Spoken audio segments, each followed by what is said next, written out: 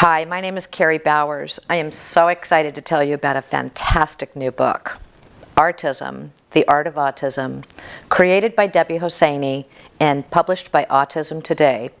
This book shatters seven myths, one of them being that individuals on the autism spectrum lack some kind of emotion or some vision beyond the prism of the autism.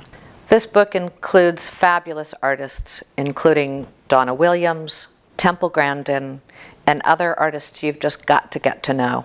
In this beautiful book, you'll see the depth and the richness of how the autistic mind creates art that resonates with the soul and resonates with the heart.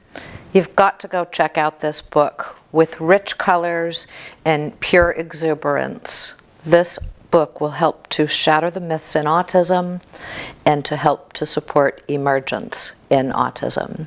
Go check it out.